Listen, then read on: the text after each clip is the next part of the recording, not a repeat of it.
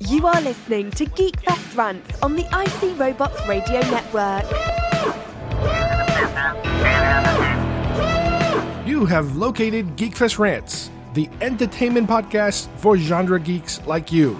Shall we play a game? Covering the world of vintage and current film and television since 2010. Game over, man. It's game over. Featuring in depth conversations on sci fi, horror, fantasy, comics, toys, and conventions. So say we all. So say we all. And now sit back, relax, and enjoy today's show.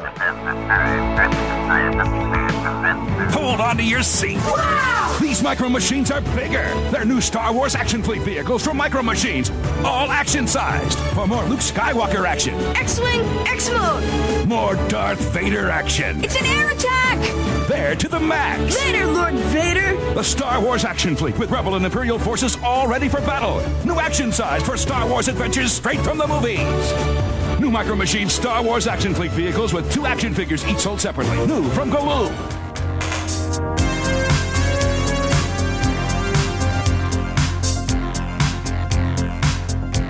Hi, everybody, and welcome once again to Geekfest Rant. My name is Carlos Perrone, and today we are once again taking the route towards Star Wars toys. Two different products we're going to be looking at today. First off is concept vehicles, not just the art, as we've examined and looked at it many, many times before from some of the highly acclaimed conceptual designers and artists, you know, in the Star Wars universe, but we're going to look at actual toys or three-dimensional representations, if you will, of a lot of this concept art through different phases of the toy side where Hasbro at one point designs a couple of these concept vehicles and Hot Wheels at a certain point also, you know, takes a shot at that. We've had in the past discussed briefly a couple of concept ships that were made, you know, for the three and three quarter inch scale line. Uh, this, this is back, you know, on the Power of the Force days where I guess it was in the mid 90s when they were pumping out, uh, you know, new Star Wars merchandise, you know, after the dark times. But these were larger. These were very large ships that you could actually fit an action figure into. What we're looking at this time around is ships that are a little smaller and they kind of go back also way way back into the original designs and the original concept drawings and them being recreated. We're following a couple of waves again some of them from the 90s early 2000s if you will and some of them very very current within the last year. So that is what we're going to do on our first part of the show. Then on the second part of the show we are going to hit an old toy that I barely knew it existed. It was out there in the periphery of Star Wars. It was during a period of Kenner where they were releasing just about anything they can get their hands on and repurposing a lot of toys from earlier lines from other licensees just to be able to put something out there. And uh, what I'm talking about here is the Star Wars movie viewer. I guess you can call it an, a super early version of home video, if you will. And we're gonna we're gonna kind of dive deep into that one. It's it's an amazing uh, little find that I was able to get my hands on, and I'll give you as much information as possible about it. And you never know, maybe you'll be interested in getting one one day. Anyway, let's get started with Star Wars concept ships.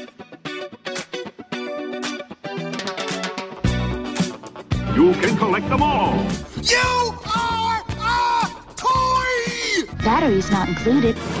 Get those wonderful toys. Details on specially marked packages at participating stores. Is that the Six Million Dollar Man's boss? It's Oscar Goldman. Why do you have that? That's worth a lot of money. That's much more valuable than Steve Austin. Action figures each sold separately. Hi, I'm Chucky, and I'm your friend to the end. Some assembly required. All your favorite Star Wars heroes and villains. I have three of each one to display, one to open, and one just in case.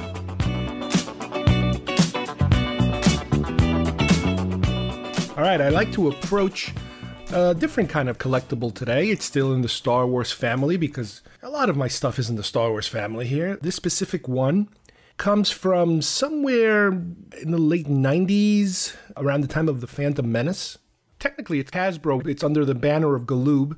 Back then, if you guys remember, Galoob was big into micro machines, and they had created an entire world of micro machine Star Wars, Star Trek, all types of different movie lines, and there was a whole world of those. But they tried to kind of cross a little bit by making slightly larger ships. And, and those kind of went on for a pretty long time. They, they created quite a number of them. And I'm talking about, you know, if your average micro machine is about two inches long, they at one point created something that was about five or six inches long. And, you know, they had relative success with a lot of that stuff. But sometime, again, sometime around the late 90s, early 2000s, let's say, they created something called Series Alpha. And what this was, was basically kind of like a two pack. A box came with two ships. The more five to six inch version of, let's say, for example, an X Wing, the one that we all know and very familiar with, you know, in those dimensions and those colors. But also a smaller version of it labeled as a concept model. And the whole point of this package was to show you the concept design or the prototype version of the vehicle based on some artist's idea, and then the finished product underneath.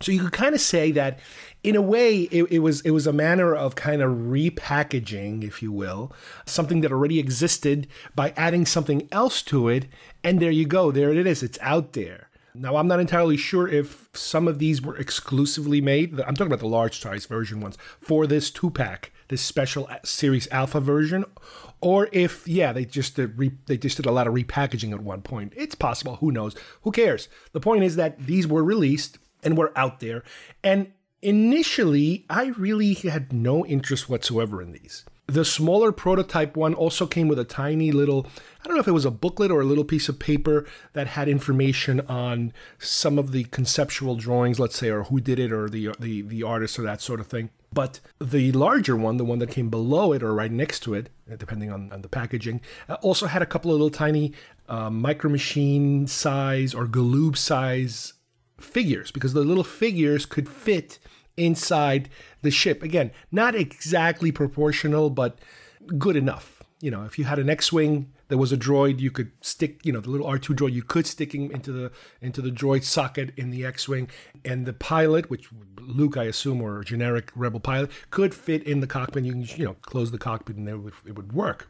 Now, what was cool about the minifigures also was that it usually came with two of them, and it had a final design figure and then a concept figure. They actually did take the time to try to sculpt, I guess, uh, uh, the secondary figure to be associated with whatever the concept vehicle there was. Sometimes there was art that they could use, you know, for the conceptual uh, drawing of who the pilot of this particular vehicle would be. And sometimes I think they just made it up because they really didn't have that much to go on. But a few of them, you actually do see uh, how the figure is based on a concept drawing. So that's kind of neat. So these came with a special display base uh, that makes them, again, makes them different than the regular display bases because it actually had two prongs that you could actually mount both of them next to each other so you could look at the comparison. But again, going back, I never really was into this for some reason you know, I, it never clicked with me. Not until I started looking heavily, heavily into the conceptual drawing side of Star Wars, which I kind of dabbled with it a little bit, you know, obviously following all the McQuarrie stuff. And then little by little, I started branching out into other artists, Joe Johnston, uh, Nilo Rowe, I can never pronounce his name. Colin Cantwell, more recently, you know, another name that popped out there. All of a sudden, he became you know, uh, he, he came out there and he was all of a sudden making the convention rounds and selling prints and this and that. And most recently, you know, uh, around the same time as Cantwell uh, started kind of coming out and, and doing stuff, they released a couple of his ships by Hot Wheels, completely different brand, but in sort of proportion to the ones that I'm talking about here alongside a Hasbro one that was released as part of the solo movie, uh, an Imperial ship that was his conceptual design, which, which we'll talk about later.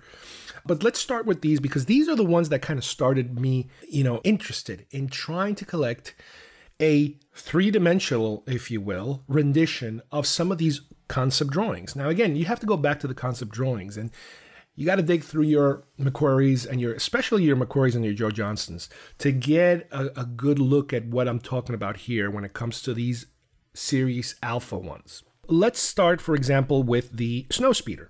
The Snowspeeder we know now started out again different many incarnations, but for this particular one, they, they chose one that was very very interesting looking, the design. It almost looks like the cockpit of the Y Wing in a way. It's a very mm, slightly triangular with two guns uh, at either end.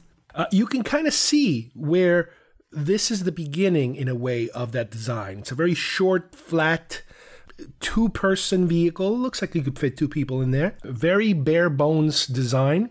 But again, for a three dimensional rendition of a drawing, this looks really, really cool. Really, really nice.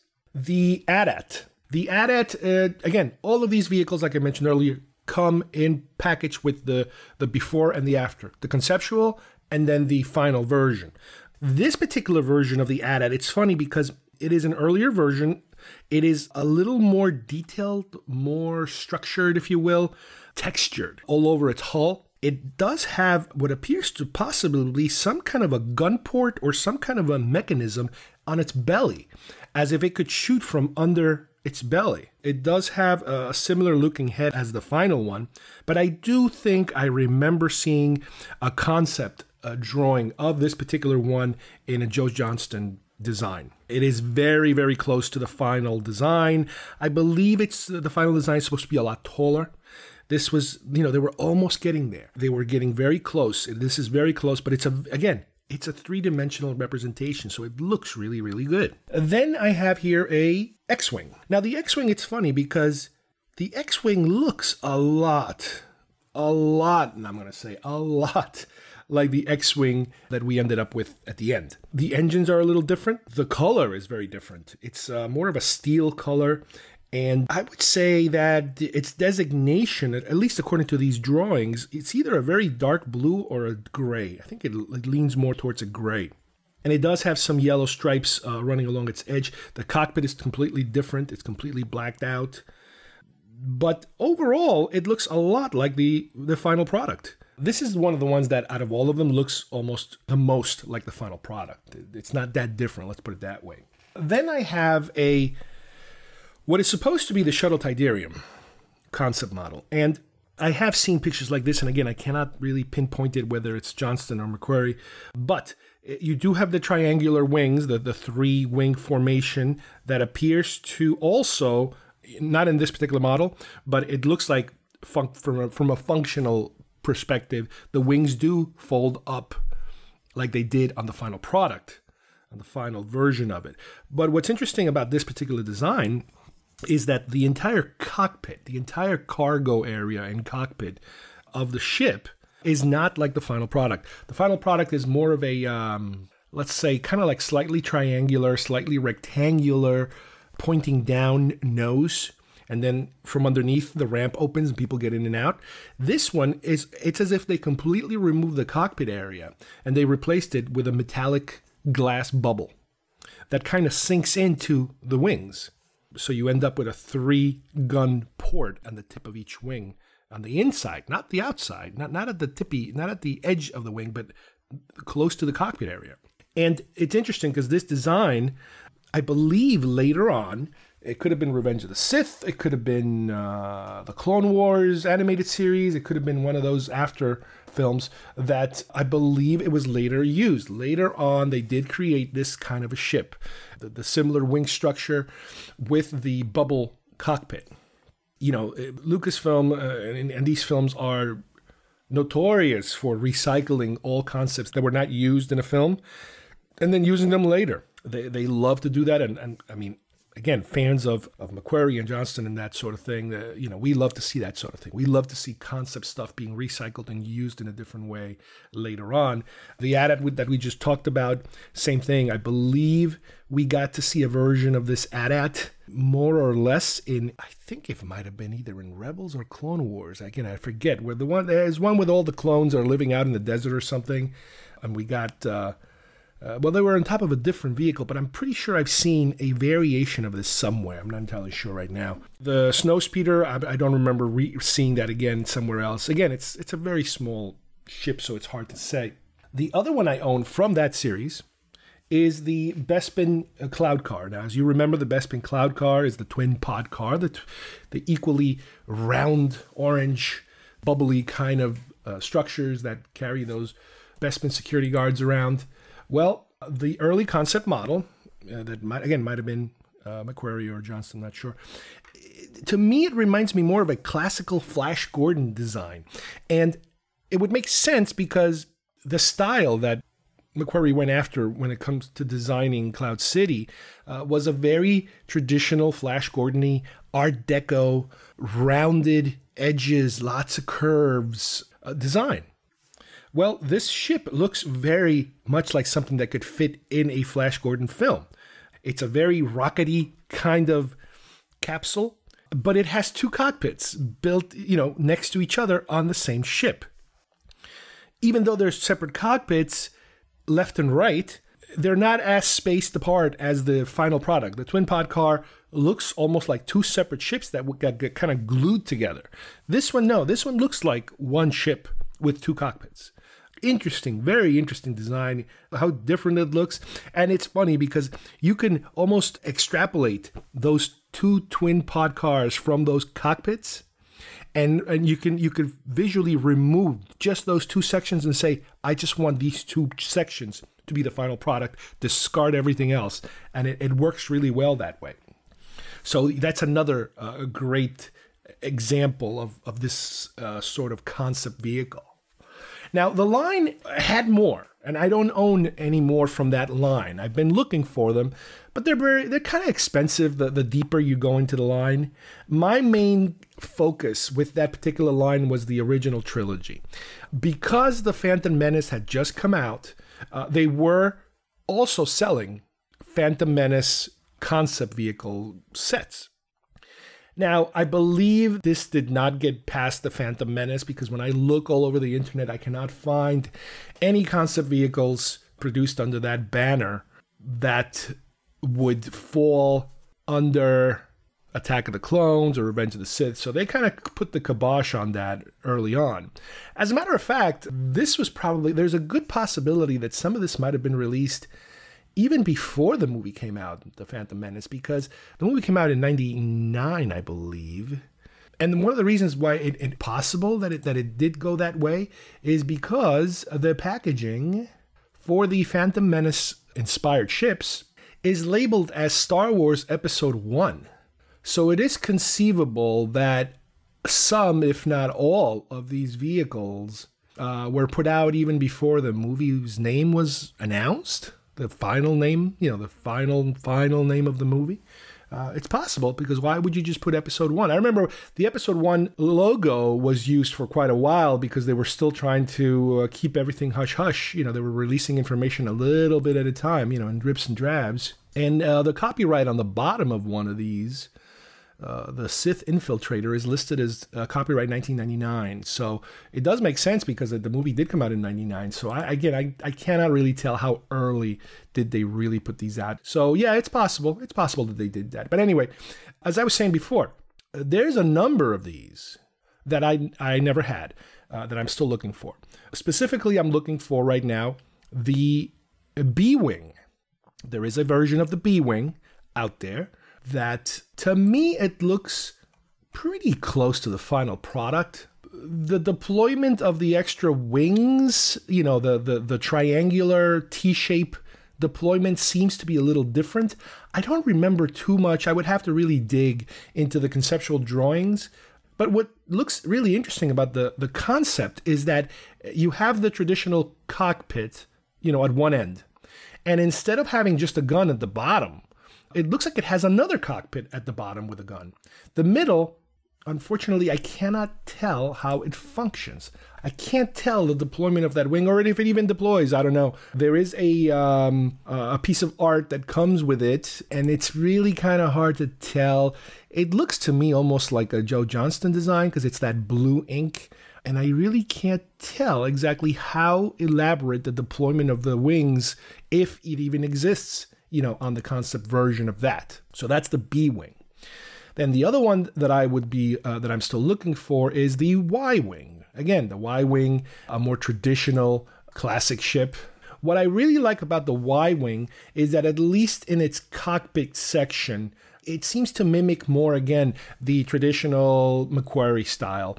The secondary cockpit that it was supposed to have in the place where the gun is on top of the cockpit, you would have a secondary, I guess, a gunner up there. But that was, again, it was removed, I remember, in the conceptual, it didn't get past the conceptual stage because to create that kind of a, a bubble cockpit would have been way too difficult uh, for the blue screen process to have a transparent cockpit that would just bleed out. If you can't hide the glass within metal, against a blue screen background that would then have to you know uh, attach stars to it. it. it traditionally back then back then i'm talking about back then the optical printing process would have just washed out and and bled out the entire cockpit uh, because it would be unprotected. So yeah, that's one of the reasons why they did it. It also looks very metal, very steel, chrome, uh, you know, kind of uh, finish to it. The rest of the body looks pretty much in proportion, but yeah, they, there is a little less detail. The, the majority of the difference I see on the cockpit. Now, what's also interesting here is that if you look at the little art book that accompanies this particular toy, they do credit Colin Cantwell as the artist of this, even though it is very much Ralph McQuarrie concept. However, this is one of those, you know, what came first, the chicken or the egg? I know that McQuarrie did a very detailed drawing, a painting actually, of the Y Wing in its hangar. But I know that Cantwell also did some actual kitbash models of it. So in a way, this could be considered a Cantwell one. But again, this goes back and forth with a lot of these artists where one artist will start it, another artist will add to it, and then it'll go back to that other artist, and they kind of go back and forth and play off each other, you know, into what the final outcome becomes. You know, it is really difficult to really claim one final model, you know, to one person a lot of times because they do collaborate a lot of times. They did collaborate a lot of times on the final design. However, I guess it all depends on which piece of art they are using for creating this particular model. So that's it for the original ships from the original trilogy. Now, as I said before, because of the episode one selling aspect that they're trying to uh, develop here, they did introduce a whole bunch of episode one ships. Now, these are the hardest to find, and everywhere I look, first of all, you never see them, you almost never see them loose. They're always boxed and they're super expensive, at least for my, you know, what I'm looking to spend on these things. But let's go through a few of them. There is the Droid Fighter. If you guys remember the Droid Fighters, the ones that fly around, um, that sort of thing. There is a conceptual droid fighter that looks absolutely nothing like it. Now, I'm not sure exactly who is credited uh, for the conceptual drawings because, again, I never owned these. But from what I remember, some of the conceptual designer was Doug Chiang. He might have had other people around them, but uh, that's the name that I seem to remember the most about the Phantom Menace. This version of the droid fighter is is really odd looking. Nothing, absolutely nothing like what we remember the final product looks like. The final product is a weird looking droid fighter. It's a droid fighter. The droid is built into the fighter. It's one unit. It has two, you know, two sides that shoot from the sides, and I think at one point you could even see those sides bend, and they can actually walk in a hangar on the tippy toes of their wings. Really odd design. But the conceptual one is less circular, uh, I would say UFO-ish kind of thing, with a big engine in the middle, two guns in the front, and what appears to be two cockpits on either side of this circular vehicle. You could not be any further away from a design of a vehicle than this. It's red. It is like uh, kind of like a brick red, almost orange kind of design. And we are going to come back to this because the only thing close to this is another one that I will talk about later. That is just unusual how they went in that direction and then they switched it. You know, it's it's really weird. Next up, you have the Naboo fighter. The only thing that's similar about the Naboo fighter is the color scheme from what we get in the final end of the movie. The final end of the movie, you know, by the time we get to the movie, the Naboo fighter is a, a very slick chrome and yellow, almost kind of T shaped, and it flies in reverse in a way that you would expect it to. As opposed to pointing towards where you're going, it's the other way around. It kind of trails behind itself of that T shape. Well, the concept version of that looks a lot to me a lot like Anakin's pod racer, and then later on in Attack of the Clones, the Coruscant speeders that we see zipping about, it has more of that feel to it. It doesn't have that T shape at all. It's a more traditional fighter speedery kind of design, a slightly oval shape with two huge engines, which it's funny because they kind of retained those engines. They just kind of separated them and formed this T-shaped design, and they got away from the traditional, you know, oval shape of a speeder, if you will, of, of a Coruscant flying speeder. But it's really, really interesting. You can see bits and pieces of it, and you can see how somebody, obviously George Lucas, probably said, "All right, I want you to keep these engines. I want you to streamline the back. I like the color scheme." You know, you could kind of feel that from just from the from the concept alone. That's a that's a really nice one. Up next, we have the Royal Starship. Again, from Naboo, it's the Royal ship. This is the ship that that very chrome silvery ship that they escape on and they land and they're looking for parts and that sort of thing. Well, what is most unusual about this particular package is that the concept ship is the larger of the two. It appears to be the larger of the two. And it is it is so much different in terms of it does have that full chrome look, a very sleek, long shape ship, but the final product became more of a what I would consider to be the opposite of the Naboo Starfighter. The Naboo Starfighter, remember I said it, it, it flies backwards. It's a T-shaped fighter that flies towards the, the, the head of the T. Well, this one is a somewhat T-shaped ship, if you remember it, that flies forward. With the concept vehicle, it is just completely unusually different. It still has that long look to it it does also have, if I am not looking at it the wrong way, a color variation, which is a blue kind of stripe running through the top and maybe a possible blacks. It's hard to say that it's hard to tell the difference between a black a black color and a chrome that's uh, reflecting black, but it definitely has a blue streak, and it it is just uh, different. It is it, it is a little fatter. It is a little more almost cylindrical, if you will it is very very odd how they slimmed it down. It almost looks like a yacht in a way. It is it has parts that are just unusually different. But again you can just like the other one you can tell where somebody said all right i like those engines. I like the long nose. Let's make it all silver. Let's make it all chrome. Let's and let's get pointier and pointier as you get to the tip of it. It has like this little spoilery, weird looking thing on the side, but it appears to only have it on one side. I don't know. I, I don't understand that that the functionality of that. Let's get rid of that. you know, it, it's it's a really unusual design. I'm, I'm I'm very surprised. I've never looked at it in this much detail and realized what a difference. And the fact again that the the final concept is the smaller of the two. That's that's really really odd. All right, next up we have the Sith Infiltrator. Again, this is the ship that we only see a little bit of. Darth Maul arriving in Tatooine. It has those uh, Darth Vader TIE fighter uh, crooked kind of wings and a very long snout. Well, it's funny because the concept model, the concept version of it completely does not have those kind of wings.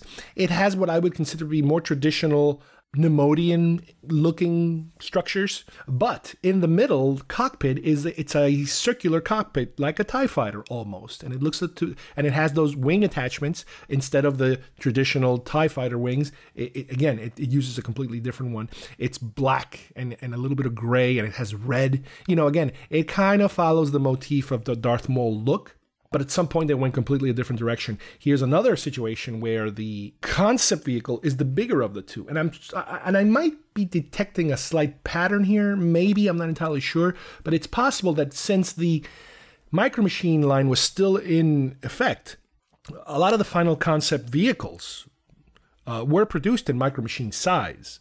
So that would explain what maybe they didn't want to produce a secondary size of the same vehicle when they already had it in, in the final product. You know, when they were going to sell these micro machines on three packs or even bigger, you know, it's already there. So let's just reverse it. Let's just make the big one, uh, the concept one, and we already, you know, we don't have to tinker with the other one because traditionally they would have had to tinker and redo the original ship or the final ship and then produce a concept one on top of it. So this way they could save some money and the other one is already pre-made. So that would kind of explain the difference in size as to why they decided to go this way. The other ones was different because the other ones they already had them produced, so they were doing the reverse. They were repackaging something that possibly already existed. And that I think would basically wraps up the the Alpha series version of these ships. As I mentioned before, they didn't go beyond this. They kind of put the kibosh on it at some point. I guess they realized they weren't making enough money. There's no point in moving into the Attack of the Clones phase or the Revenge of the Sith phase. But that was the end of it. And at that point, that's where I had stopped collecting these altogether. However, something happened. About a year ago, I think it is, uh, we started hearing the rumblings of Solo, the standalone film that was about to come out, that there might be a ship that we might recognize. And that was also around the time I said where Colin Cantwell was becoming a little more um, out in the open and, and, doing the convention circuits and, and doing autographs and showing everybody his art and his concept designs and pictures and some of his models and that kind of thing, giving out, you know, giving interviews. Well, they announced a ship that was going to come out as part of the Hasbro uh, small ship line, which used to be called the Titaniums, I think. I don't even know if they're even called that anymore. But they put out a ship that was supposed to be an Imperial, kind of like a, I don't know if you want to call it a spy ship or a, a warship or something. Looked a little bit like a Star Destroyer, but different. And it was very much exactly like a Colin Cantwell design. This is back when he was just kit bashing his brains out. This is when Star Wars was being developed. You have some McQuarrie stuff already in the ether. You have Cantwell stuff in the ether, and he's out there just kit bashing like crazy, putting together things that kind of look like something. Well, one of the original designs for the Star Destroyer, there were a couple, is pretty much like a little bit like what we know now of the death of a Star Destroyer. That is a, a triangular ish, long, flat surface. But this particular one had a bridge, if you will, at the end, kind of like a Star Destroyer. But it also had these huge radar dishes on either side and one in the front. And I think there were supposed to be more uh, weapons, not radar dishes, but they look like radar dishes. Well, that design, like I said, they revived it for Solo. They used it in a very, very short scene in the background. You blink and you miss it. It's actually a hologram of a commercial, you know, for the for the military, if you will. And it kind of came and went real fast. But for people that are into these concept ships, it's like, wow, they're actually going to make it. So, you know, I, originally we all thought that the, the ship was going to play a, a, a, bigger role in the film. But no, it was just a kind of like a background kind of thing. And then they announced that Hot Wheels, as part of their Star Wars concept line, which again, I don't remember seeing too much concept, but it's a new line. Again, specifically having to do with the Colin Cantwell art and the Colin Cantwell designs based on his models, his Kit Bash models. We're going to put out five ships this year. And little by little, I've been collecting them, and it took me a while because the, the first three were moderately simple to find, if you will. Moderately. I had to go to a GameStop store nearby and I was able to get the first three. So I was able to get the X Wing, the Millennium Falcon, and the TIE Fighter. Now let's talk about them first because there's two more. The X Wing, again, looks very different. Even than the, the this one from the Alpha series, it looks very different. The X Wing is the original X Wing, which is actually shaped like an X and I told the story before. The reason why that original concept, according to Cantwell, changed is because the mechanism jammed and they could not get the mechanism to fully form the X. When you think of the letter X, a symmetrical X, like a plus sign almost tilted, that is what the original design of the model was supposed to imitate. But according to, again, legend, if you will, myth, urban legend, it's what Cantwell says that well, when they did that, when they had the the ship go from flat to the X position, it stopped at a certain point. It would not fully X out. And after I guess looking at it a couple of times, they realized, oh, that that looks actually better. You know, not to do the full X, to kind of do that that half X, the soft X, if you will, uh, which is the final position that we're now more familiar with of the deployment of the wings. You know, for the X-wing, for for the battle formation, if you will. Also, the nose is a lot shorter in this one, and and not only shorter, but it's uh, it, to me it feels like it's a lot skinnier, especially skinnier than the rest of the wings in, in proportion to the wings. You know, again, we're comparing what we're used to seeing with the early concept design. So yes, that is a great piece because it is so different and it's so truthful to its original intent that it's it's a it's a really good one to have. The Tie Fighter uh, looks more like a traditional TIE fighter, except that the coloring is different. The wings are almost all black, the cockpit is gray. They replicate a lot of the little details that they put on the wings, that he put on the wings as part of the kit bash process. There's a lot more texture, again, to those wings, even though they're the same shape. And I, I remember that even on the earlier pictures that we, we were able to see of those models, of those kit bash models, even the struts that are holding, attaching to the wings, the connections, they're a lot skinnier than they will eventually end up being. But the TIE fighter looks pretty good, pretty pretty faithful, I think. The cockpit is a lot less detailed. Ironically, since the, you know the wings are more detailed, but the cockpit is less detailed. It's more of a smooth surface with a black glass, and I think part of uh, of the design here is that they didn't want to go for clear glass because that imply, you know, that gives you a a problem because then you have to create an insight if you want to look into it. So a lot of the sections here where you have glass, uh, they just opted for the black finish, so it's kind of like non-reflective black, uh, but it's also reflective of its original design. You know, they weren't that further along into it, but that's where it's all stopped.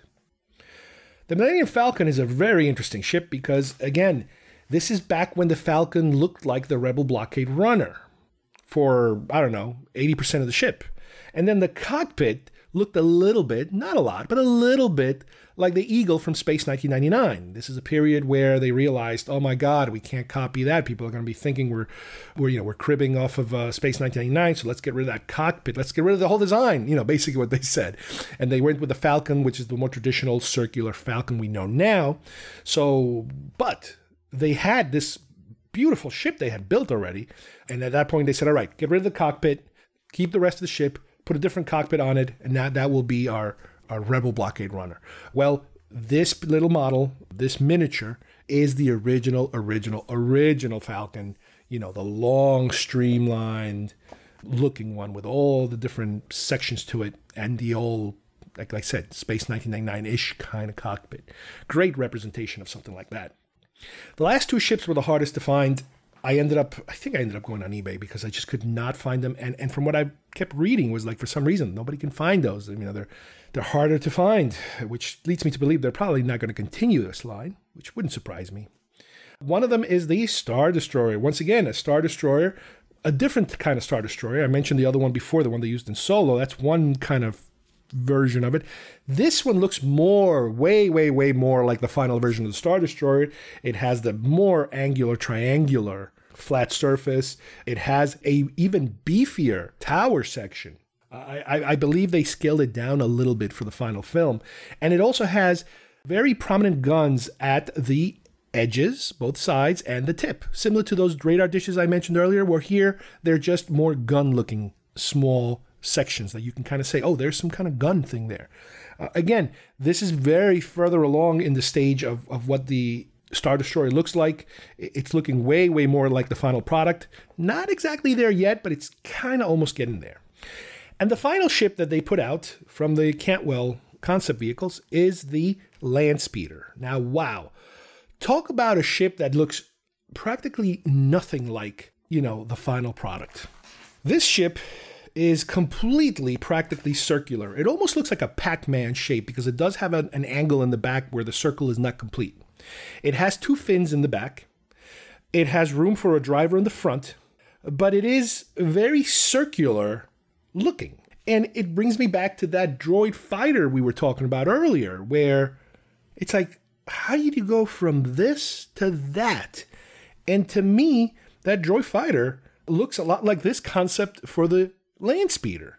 It just completely baffles me as to how you go from this to that. The color is orange, which you could kind of say, well, maybe they kind of kept the color a little bit, even though the land speeder is more in the brown shades than the orange. But hey, there it is. But it's completely different. Completely different.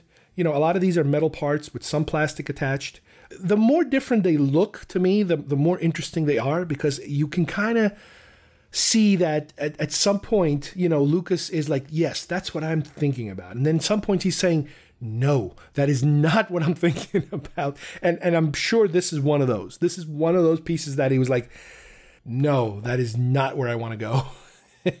yes, you do want an open cockpit kind of uh, sports vehicle looking thing. you know, a joyride. But no, that's not the right direction. And to me, it looks, oh, again, it looks a little too Flash Gordon for me as far as inspiration. But as I said before, I'm still looking for some of those other ones, especially the original trilogy ones. If I run into some of those episode one Phantom Menace ones, I might pick them up as long as they're reasonably priced, which they're not. They're not going to be reasonably priced. Uh, been looking at them for a while now. They, those are very expensive. But again, if you happen to be into this particular focus collecting of, of trying to collect actual, not just the art of the conceptual design, but somebody that actually manufactured them, you know, in a 3D medium, that you can actually display them with other things. And, and that's what I have. I have them all displayed. They're out of their package. That was a tough thing to decide. Also, was whether or not to leave the Colin Cantwell ones out of the package, take them out of the package or not. The other ones that I had already were out of the package because a lot of them I bought them open. They were loose. Uh, sometimes it's a lot cheaper, obviously, to buy them loose than than package, obviously. But just for consistency's sake, I figured, you know what? I want these open because I want to be able to pick them up and look at them in detail. And I want them all next to each other. So that's how I have them. I love these ships. I really wish they would continue making some of this content. There's, again, just like anything else, it's a rabbit hole. You could fall in a rabbit hole. And, and if they manufacture a lot of these, you, you could fall deep, deep into a rabbit hole. Fortunately and unfortunately, because they're not that popular, they don't make them. I would be surprised if they make more. Cantwell has a couple of more ships in his library, if you will, that they could make, I, I believe. There's a few more. He they, they could make the Death Star, they could make the Sandcrawler. I would have to kind of uh, research a little more, but he, he does have a couple more that I've seen pictures of that could potentially be made into something. And obviously, with McQuarrie and Joe Johnston and these other artists, it's an endless supply that's out there if it ever came. So I would strongly recommend you guys uh, taking a look at all of these available concept ships. Okay, for a different kind of collectible that I'd like to go over today, we're still going to remain in the Star Wars theme. We are going to take a look at the Star Wars movie viewer. Now, this is something I never owned before. And you, you have to kind of remember, again, every now and then we have to kind of go back to how things used to be before this modern time of basically everything is at your fingertips. You go see a movie in the theater, and you might be able to see a a version of it, quote unquote version of it on the internet the same day or a week later. Usually about three or four months later, there's already a home video version, a DVD, a Blu-ray, a 4K, whatever format. And even before that, you might be able to see it on cable television. You might be able to see it pay per view. I don't even know if pay per view exists. On demand, I think they call it now, uh, or on an airplane. You know, it, the the turnaround for movies now is just plain ridiculous. There are movies now that are released simultaneously as a uh, on demand and on the theater at the same time. You know, obviously not the big popular titles, but the turnaround is insane. Back in the 70s and the early 80s, just the regular 80s, I would say. There was a big lag between these things, and as we've explained in the past, uh, sometimes with very popular movies, they would re release them again the following summer, the following spring, the following year, whatever. Before a sequel would come out, movies like Star Wars and Raiders of the Lost Ark they would re-release the previous film or the previous films to kind of hype everyone up to get ready for the sequel, you know, that kind of thing. But this these things took time to really really experience the movie again as a kid, you know, adults really didn't care if you think about it. And That movie's a movie. You go watch a movie, and then you wait, and then you, you know, whatever happens, happens. Eventually, you know, ABC movie of the week, Jaws, starring Roy Scheider. You know, you get that's the closest thing you you you would get to watching them again. This is before the video craze. This is before VCRs. You know, I remember Star Wars. I think it was like Star Wars came out in 77, but not until like 1982, I think, that it had finally made it to the home video market. So, yeah, eventually, you know, these things start to kind of trickle there. They start to find their way, you know, to, to uh, somewhere where you can actually buy them. But in the 70s, you know, you weren't there yet. You know, very few people owned VCRs and those who did were super expensive, or Betamax, you know, that sort of thing. The closest thing you had to being able to recreate a film with these kind of movies, and I owned a few of these, were the 8 millimeter um, prints. Obviously, you could also have 16 millimeter prints, but those were mainly for higher end presentations like a school, let's say, or a, or some kind of um, institution or somewhere that it's a little more professional. A library maybe might have 60 millimeter print. You never know. But uh, schools is really what really uh, I could kind of picture them uh, being more in that in that realm, that format. But for home viewership, you know, not everybody had a 60 millimeter projector. If you were somewhat of a film enthusiast, you might have a, an 8 millimeter because an 8 millimeter you could shoot your own films and then you can play them at home and then you can buy some. Now, with the 8 millimeter, again, back then, these would come in what they called selected scenes. And for Star Wars or for even Empire Strikes Back, I remember, uh, I owned a reel, a 400 foot reel of Star Wars, which was selected scenes from Star Wars. Uh, it, it totaled uh, to about maybe, I don't know, maybe 10 minutes worth of, uh, of footage. It, it wasn't that long. It was just quick little clip, you know, little clips. And for Empire, same deal. I had two different reels, reel one and reel two. And yeah, they did spread out in each of those, something I don't know, 10, 12 minutes worth of footage on each. And it's selected scenes. Keep in mind, um, you know, the aspect ratio is four by uh, four by four by three. Is it three by four? You know, it's a television box uh, format. Uh, we weren't dealing in any kind of widescreen uh, for, for, for for home presentations anyway. But even that was expensive. You know, you to, to be into that sort of thing, it was a little it was a little too much to expect from your average consumer. So, what other ways were there for kids to be able to relive the movie? Obviously, we bought all the toys. We went completely insane with buying the action figures, and you recreate the scenes with your action figures. You have print media. You can read, you know, the the story in many different ways. You could buy the book. You could you could buy the comic book. You know, the comic book. At least you have pictures that show you these scenes, and you can kind of kind of re put all that together. But back then, you just went again. You just kept going. The, the, the repeat viewership for films for obviously popular films was insane because that's when, when when a film would stay in the theater for months and months and months. Now the shelf life of a film, it's if it stays for a whole month, it's a blockbuster. now it's amazing how little these films stay in the you know in the theater compared to back then. So what other uh, methods did kids have? Well, again, this is something I never owned before. This device lets you kind of watch selected scenes for a few seconds, not as much as an 8mm reel that, like I said, the one that I used to have. This is a, a very more economical way of doing it. This item is from Kenner, like most of the uh, items that come, you know, initially from Star Wars.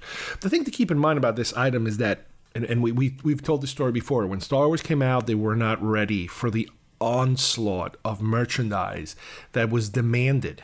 People wanted to spend money on this stuff, and obviously Lucas and his his top business people, they at a certain point realized there's a lot of money that could be made, and, and eventually got made, you know, from merchandising, from toys and that sort of thing, licensing.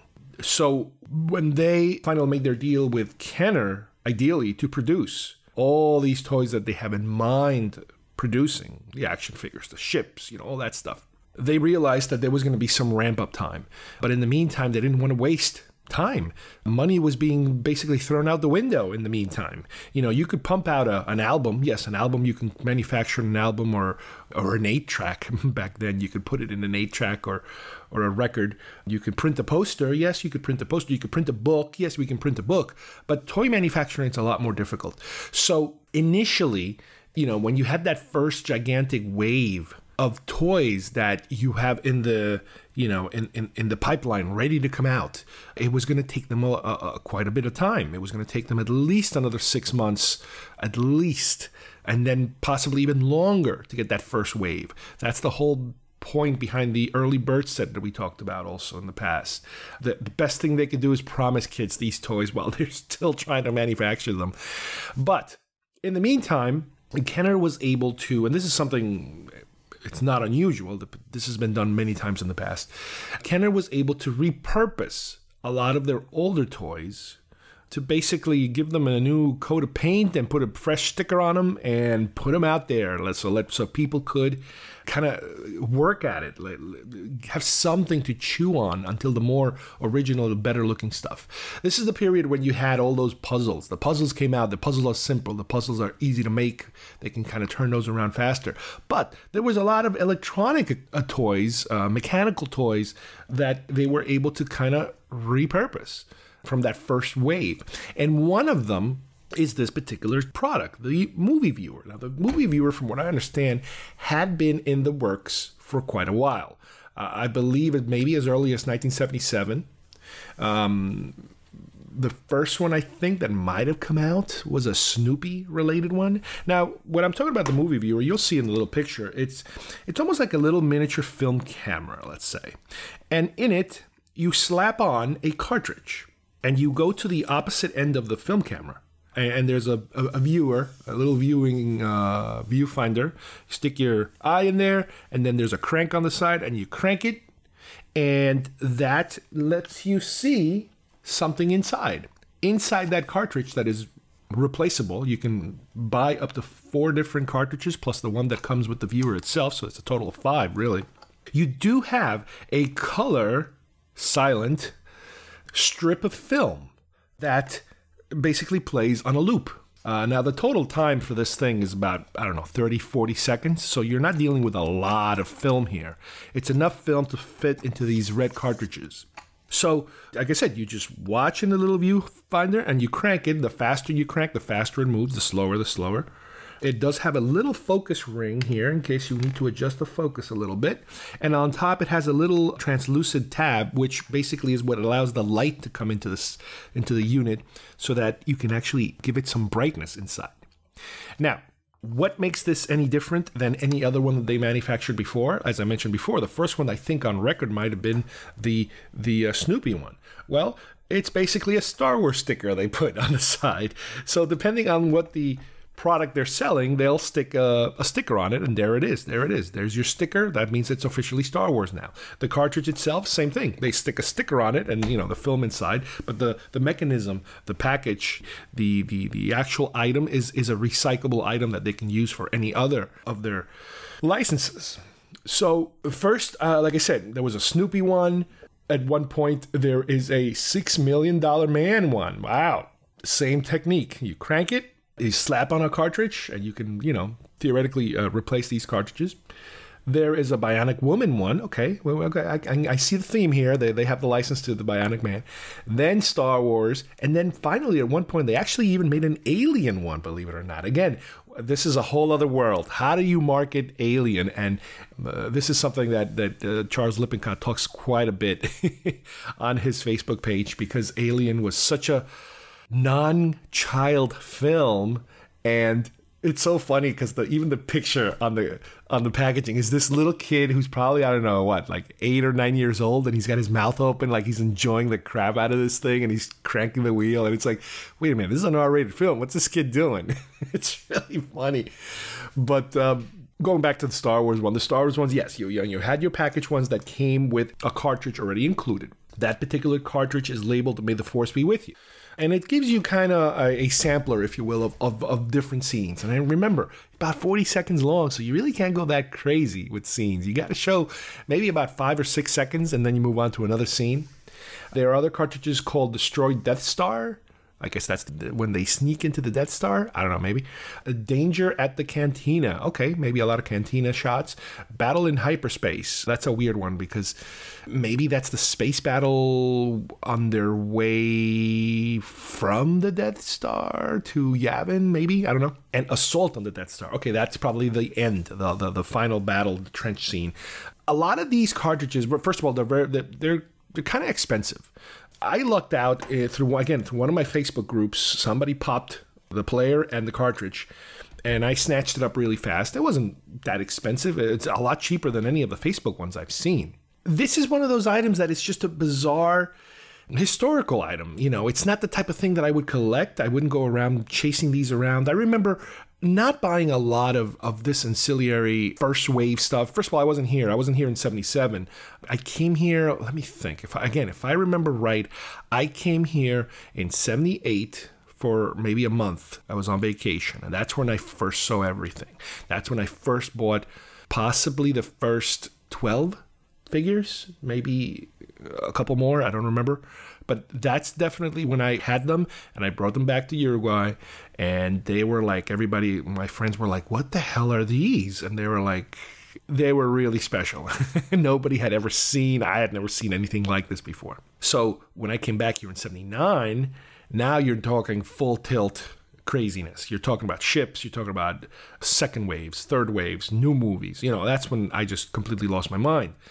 But I missed, you know, that's the thing. I missed that first initial pre-action figure wave.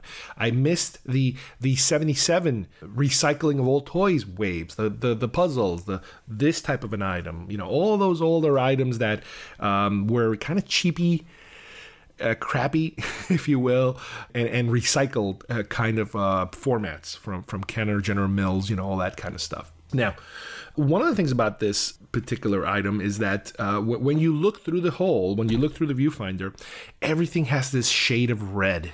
Uh, the film does not look like what I imagined originally it looked like. I'm going to imagine that originally this film stock uh, looked pretty much the colors that it should be. And I'm finding that a lot of the uh, ones that you see now, they're very, very uh, faded, and and just the aging of the film alone. I, I, I mean, unless you keep this in a refrigerator at a certain temperature or something. I, I don't think the film can survive the degradation that you do when films just starts to kind of break apart you also hear stories of a lot of people that buy these now and the cartridges don't work or you crank a few times and the thing stops working or the, the, the it's out of alignment. They just don't work at all period you know. So i think i kind of lucked out that i was able to kind of buy one that actually functions the way it should. Granted like i said the colors are completely way off now, what I'm going to be able to do here is I'm going to put links, you know, on my show notes like I usually do, because on YouTube, somebody was able to, uh, a few people, I guess, they were able to transfer that footage. I guess you could stick a camera lens, a little tiny camera lens into the viewfinder, of, of all five different samples of the the cartridges. So you can kind of see what they look like. You can see that crazy red shading on them. That you know, unfortunately, uh, that's what you get. You know, when when it's something this old. And what I also found was one person uh, very ingeniously took the the one that I have right now, the the one that's called "May the Force Be with You," which is again it's the sampler one that comes with uh, the the actual device. The device might have been sold with a couple of other ones, or at least they teased the other cartridges. But what they did here is that they took the structure, you know, the format, the the edit list, if you will, of that first cartridge, and they transferred it and replaced it with actual clips of the movie in a 3x4 format. So it's your only way to actually experience the colors if you will, without all the degradation and the scratches and the and the, the, the weird lookingness that you do now when you stick your eye in there to look obviously there's no sound, but he did add the sound of the clicking sound of the crank. So it's it's a cute, weird little thing that was done. That I, at first I'm like, wait a minute, is this what is this supposed to be? And I'm like, oh, I see what they because you when you read their notes, it's like, yeah, they recreated the whole thing with actual real clips. So that's a cute little thing I think uh, that, that you guys might appreciate is to, to see what this thing actually should look like if you had bought it brand new and looked at it for the first time. The only other item I can think of, and, again, I'm not actively looking for it, but I can remember, I, am pretty sure, I, maybe I'm imagining it, but I'm pretty sure I also had from around this time, I don't know if it was either Star Wars or Empire, it's like a little toy projector where you can slide these these cards in, these translucent cards, and you can project on the wall a cartoon image of Star Wars or Empire. again, I'm not sure which one and and you know maybe one day I'll run into this. But again, you know, again as as a child, you're trying to recreate this movie in any conceivable fashion. You buy the cards, you know, you you align the cards, and it's almost like you have storyboards of of the movie, and you're like, okay, here's here's the beginning of the movie, and and here's my action figures, and and now I have this other thing, and I have the you, you you're trying to reconstruct this whole thing, and it's Yeah, I remember those days. I remember those days where you didn't have the option, man. I remember once, um, I think it was around Return of the Jedi, somebody had a bootleg copy of Return of the Jedi. It was the most god awful thing in the world. You could not make out half the th- scenes because this was probably like an 18th generation copy where the tracking would go off and the, it, it, for those who remember what tracking was it was a game changer when when the video market hit and now these type of products they just weren't needed anymore. You, you don't have to recreate anything because now it's already there. It's already been done for you. You could just pop it on your VCR and you watch it at home. So it's a combination of these items basically went away for two reasons. The home video market killed the need for any of this type of low level recreation of the film. And number two, the whole purpose of these items was to pump some product out before the real products would come out. So these were really placeholders if you think about it. They were placeholders for what was to come, for all of these action figures that are now, you know, on my wall unit here and, and my glass cases and, you know, all that stuff that's, you know, that followed. They were just there to kind of keep us calm, you know, with something. Nowadays, you know, when something like this turns up, whether it's on a flea market or an antique mall or in a convention or in a Facebook group, sometimes, you know, depending on the item, when it's rare enough, it's the type of thing that I would be like, yeah, that's something I wouldn't mind owning. Just for its historical purpose. It's strictly a collecting thing. Obviously, I'm not going to play with it. I don't want to crank this thing too much. It's the type of thing that I would like to show somebody and then just put it back. I'm not going to sit here for three hours cranking this thing because there are so many better versions of this thing going around that it's just ridiculous that, you know, that I'm, I'm just shocked. That, I'm just plain and simply shocked that this thing actually functions, still functions, because, like I said, I've heard so many stories of them just completely breaking down and, and not functioning anymore. As to the rest of the cassettes, if I find them cheap or uh, again in a, a, flea market or some kind of cheapy kind of scenario, uh, I'll pick them up. But again, remember they're all on YouTube. You can actually physically, you can actually view what the content is, and you, you will be disappointed because of the the quality of what these things look like now, and it's just incredible, you know, back then when you're forced to rely on your imagination for a lot of this, how much you're willing to put up with.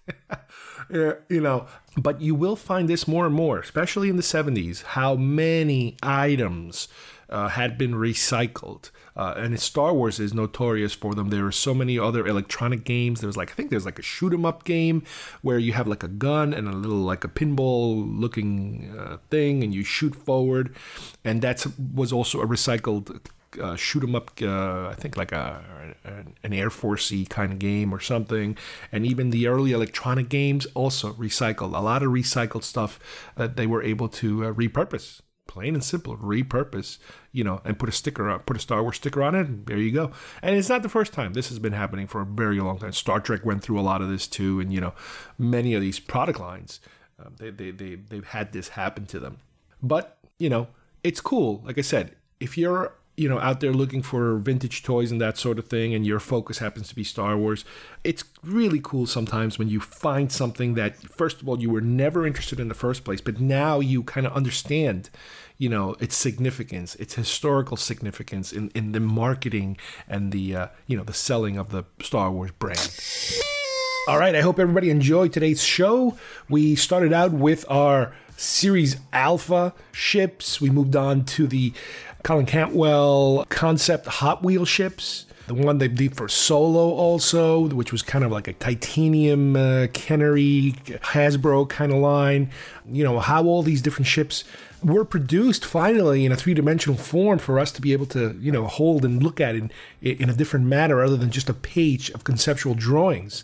Hopefully, they'll make some more. I still have a couple that I was not able to find, you know, throughout these years that I'm still hunting for. So you know, if that is the type of thing you're into, it would be a perfect uh, way to kind of start your collection.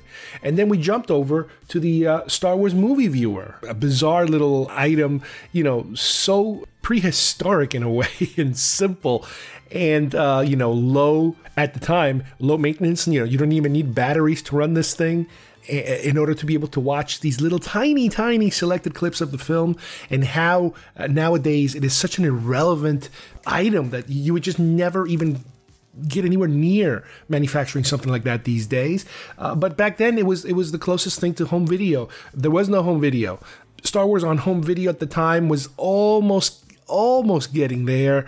VHS, uh, VCRs, Betamax, all that stuff was still in its infancy, uh, super super expensive. But before we had that, you know before we had access to stuff like that, this is what they gave us. And it was something that was developed even earlier for other purposes that was then kind of repurposed, recycled, if you will, you know, to get us through the initial merchandising push that was coming because they weren't ready. By 1978, they started pushing and pushing hard with merchandise, original design merchandise, and they were able to kind of step away from these, you know, recycled kind of items from other toy lines that, you know, that Kenner and General Mills had the rights to. But it's nothing new. Stuff like that would happen all the time where, you know, they tried to recycle some toys, you know, to kind of uh, fill in the gap, you know, when, when needed. But it's a great little item. It's a hist- as far as I'm concerned, it's a historic item in, into the merchandising and the production of toys, you know, specifically for the Star Wars brand.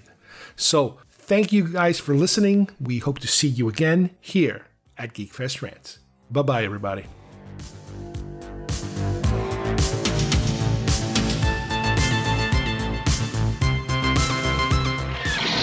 Star Wars. You and your children loved it.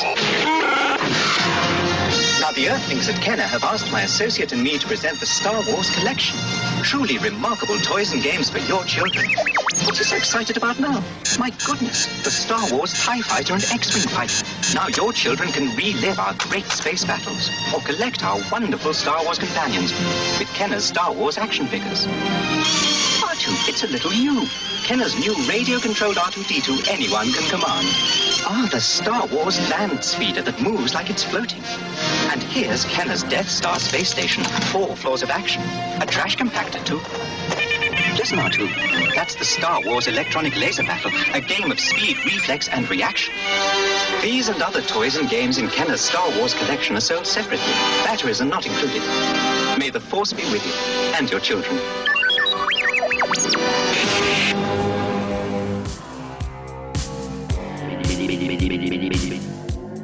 You would like to subscribe to our show, send us messages, or see video links to some of the topics we talked about today, please visit our homepage at geekfestrants.com or our YouTube channel, Facebook page, or iTunes at Geekfest Rants.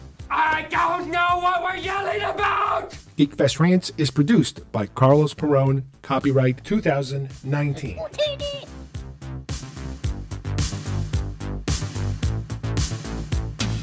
This broadcast is part of the IC Robots Radio Network. Visit icrobots.com for this and many other nerd slash nostalgia related podcasts. You won't be sorry for long.